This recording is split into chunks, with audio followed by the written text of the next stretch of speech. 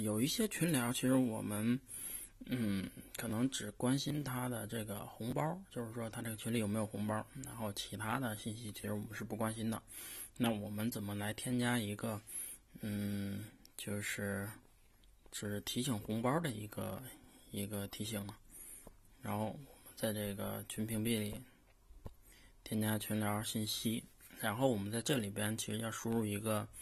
呃，群里边不存在的这种名称，比如我们输一个很特别的名称出来，然后我们添加允许，然后比如说当别人发消息过来的时候，其实我已经发了两条消息，我们可以看到这里有有消息，但是其实它没有发出提醒。嗯，然后好，这是我刚才发的消息。然后，如果群里面有人发这个红包的话，看一下。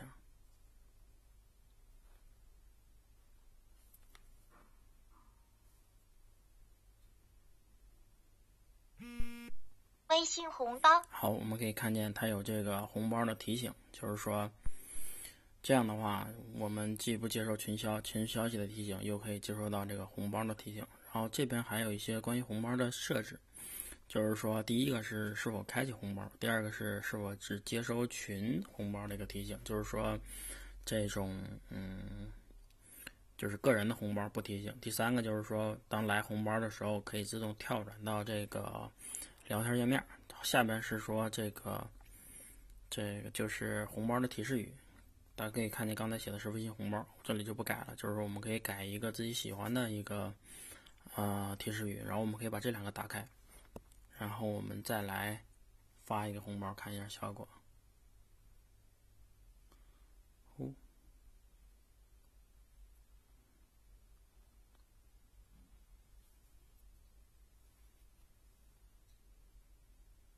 微信红包。好，我们可以看见，它一是提醒了这个红包，二是的话，它其实它自己自动的跳转到了那个红包页面。我们再来看一下。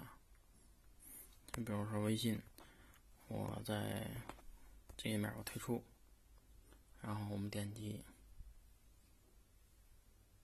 微信红包。这样的话，其实我们就可以哎，很快速的点开这红包，并抢到一个，并且能够抢到这个红包。